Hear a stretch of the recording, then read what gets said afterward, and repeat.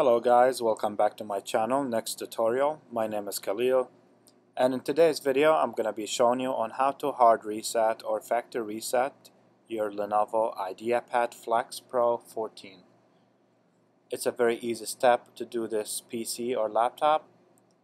Follow the steps, you won't have any issues. First thing, you want to make sure the PC is completely turned off. If not, go ahead and turn it off. The second step you want to do is look on the side of the computer. There's a small hole right next to the power button.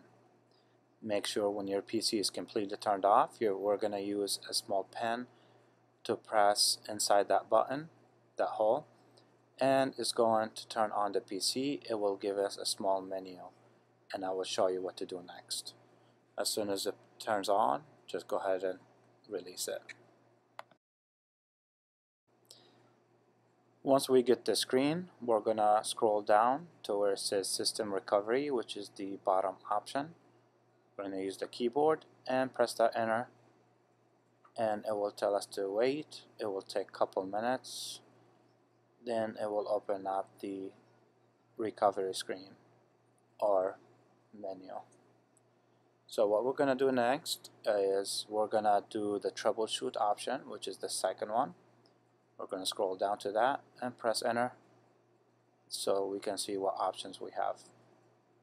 Then it will tell you reset this PC or advanced options. We're going to pick the first option which is reset this PC.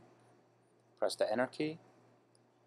Then it will give you an option to keep your files or remove everything off your PC.